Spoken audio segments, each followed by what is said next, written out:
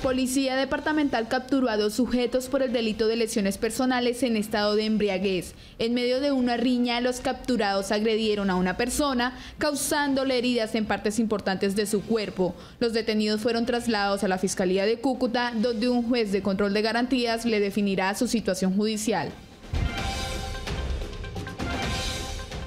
Como Luis Miguel Montejo Salazar fue identificada la persona asesinada por arma de fuego en la calle 10 del municipio de Ocaña. Como se logró observar en video de cámara de seguridad, dos hombres quienes se movilizaban en una motocicleta se detienen y uno de ellos emprende fuego en su contra y luego de esta acción huyen del lugar.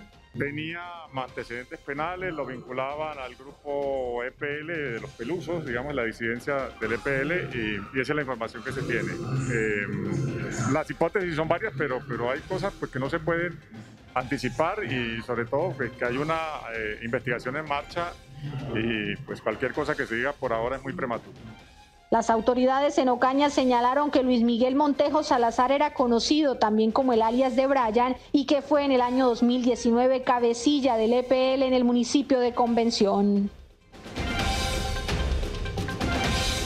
Las autoridades llevaron a cabo cinco allanamientos, dos en Ocaña y tres en Aguachica, para lograr la captura de Jair Vergel Clavijo de 34 años de edad, Giovanni Amaya Cano de 41 años de edad, Luis Ramiro Hernández de 24 años, Duber Barragán Sánchez de 33 años y Fernel Camilo Rodríguez de 29 años de edad. Todos ellos hacían parte del grupo delincuencial denominado Los Primos, una banda dedicada al narcotráfico en los departamentos de Norte de Santander y Cesar. Eran los encargados de enviar droga desde la costa atlántica hasta el exterior.